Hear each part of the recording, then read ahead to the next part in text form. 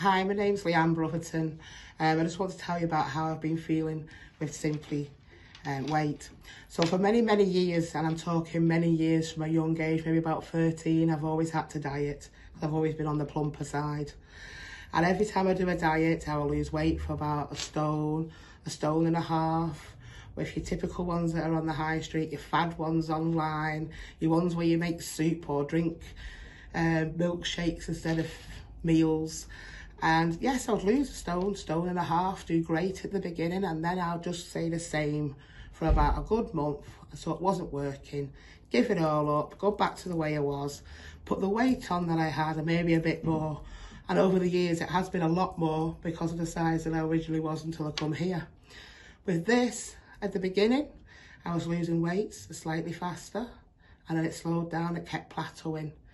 And I kept saying, oh, it's not working, it's not working. I was getting angry. But with the support that I got, they kept telling me, no, keep going, keep going, keep going. And now I've lost 30 kil kilograms. And because I, have kept going and kept going, I'm not putting the weight back on. I'm going smaller and smaller and smaller. And I've not had this top on for about 12 months. so I'm feeling a lot better now. It's perseverance and understanding why your body stays the same and having it explained to you. And then you see that drop and you think, oh, it's working. It's working again. You get the drop, the drop, the drop, and then you plateau again. And then you get the drop, the drop, the drop, and then you plateau again.